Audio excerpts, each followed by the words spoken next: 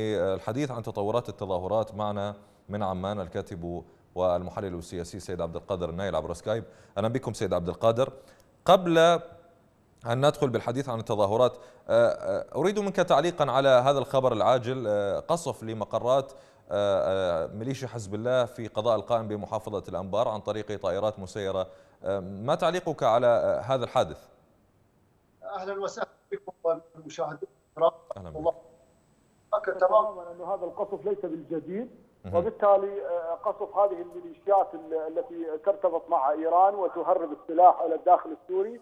هو ضمن الخطة الأمريكية لا سيما هذا القصف جاء بعد قصف ميليشيا حزب الله قاعدة كيوان في كركوك والتي قتل فيها متعاقد أمريكي. نعم. وجرح أيضا عشرات من الجنود من الجيش الحكومي هناك داخل القاعدة. وبالتالي هذا التصعيد هو بالتأكيد لن يكون كما قبل عملية الوعود التي وعدها وزير الخارجية والدفاع ونائب الرئيس الأمريكي عندما زار قاعدة عين الأسد إنه أي استهداف لإيران وأذرعها وميليشياتها لن يقابل إلا بالرد العسكري. وبالتالي يبدو انه هذا التصعيد سيستمر لا سيما أنه في القائم خزان كبير لميليشيات حزب الله من الكوادر والجنود والصواريخ الإيرانية. إذا ما أخذنا بنظر الاعتبار أنه منذ أسبوع إيران تفرغ الصواريخ من قاعدة جرف الصخر العسكرية إلى سكنات ونقاط حتى لا يتم استهداف هذه طيب. الكمية من الصواريخ فيها.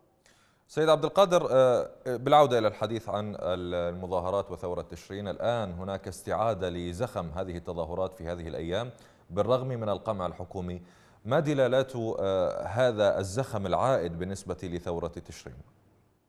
هذا الزخم يأتي في حراك التصعيد الحقيقي بعد حقيقة انكشاف أطراف العملية السياسية والذهاب أنهم يريدون تشكيل حكومات لغرض استمرارهم واستمرار عمليتهم السياسية. فبالتالي أصبح خيار المتظاهرون أنهم يصعدون في التواجد. وهذا الإصرار يأتي حقيقة وفاء لدماء الشهداء وفاء للجرحى وفاء لقضية العراق الراسخة في نفوسهم ونفوس الشعب العراقي وبالتالي اليوم هم يعلمون أن انقياد الشعب العراقي لهم أعطاهم دافعا كبيرا وبالتالي عملية استهداف الجامعات من قبل الميليشيات وما إلى ذلك من استهدافات لساحات التظاهرات يؤكد على أنهم بلا رجعة حتى إعادة الوطن. وبالتالي هذا حقيقة يؤكد على أن مطلع العام القادم الذي هو يشارف على الانتهاء في أيام معدودة أنه سيمثل حالة جديدة من حالة انعطاف الثورة تشرين في العراق باتجاه احتجاجات وتصعيدات مهمة تماما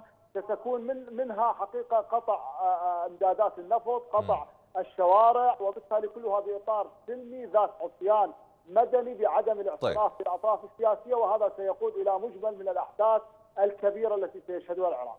تواصل مشاركة الطلبة في الحراك كيف تراها وكيف تقيموها كذلك؟ حقيقة الطلاب في ثورة القمصان البيضاء أثبتوا مهنيتهم وأثبتوا أنهم أبناء العراق البررة.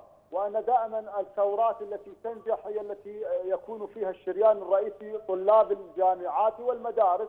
وبالتالي العراق قدره باتجاه نجاح ثورته لأن هؤلاء الرجال والنساء من الطلاب والطالبات أثبتوا ولاءهم للعراق وأثبتوا أنهم يفضلون هو انقاذ العراق وإنقاذ وطنهم، لذلك حقيقة هم يعلمون تماما أن الجامعات أصبحت خارج التصنيف الدولي للتعليم وبالتالي الشهادة العراقية بعد الاحتلال أصبحت في مهب الريح أمام الدول الذي كان العراق بمثابة جامعاته ركيزة أساسية للعلم وكانت تحتضن طلاب الدول العربية وطلاب عالميين. نعم. فيها اليوم هذه الجامعات منهارة تماما وتدخل ميليشياوي كبير تماما.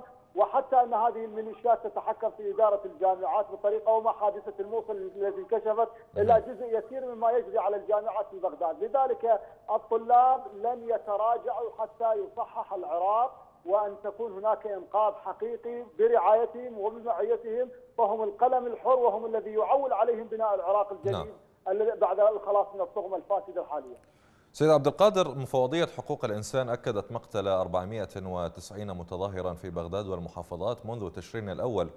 إلى أي مدى هذه الأرقام دقيقة في ظل ما نراه من عمليات استهداف للمتظاهرين وقتلى وشهداء يسقطون يوميا منذ التظاهرات؟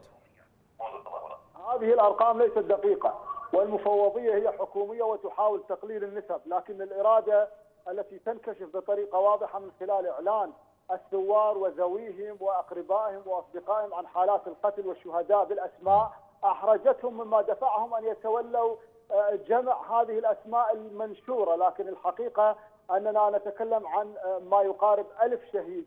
بالأسابيع الماضية تم رصد من مراكز دقيقة ومهمة وذات حيادية وتنتشر عن طريق آه، الشباب في عموم المحافظات نعم. العراقية رصدت 800 شهيد وأكثر من 21200 جريح نعم. اليوم الأعداد ترتفع أمام مختطفين وهؤلاء المختطفين أغلبهم ممن تم إعدامهم وبالتالي يجري عملية الكشف عن إعدامهم الميداني وقتلهم نعم. بطريقة واضحة عندما يتم إلقاء جثثهم على قوارع الطرق، لذلك حقيقة الأرقام أكثر مما آه، تعلن هذه المفوضية طيب. والانتهاك الصارخ لا زال مستمرا أمام السجون السرية المعلومة لدى العراقيين. يعني مع هذه الأعداد الكبيرة من الشهداء والجرحى ولم تؤتي بثمارها بالنسبة لسلطة بغداد بإيقاف المظاهرات أو قمعها أو حتى آه، يعني تخفيف ضغطها، لكن لماذا تعول حكومة بغداد على أو حكومة المنطقة الخضراء على هذا النظام على هذه السياسة في القمع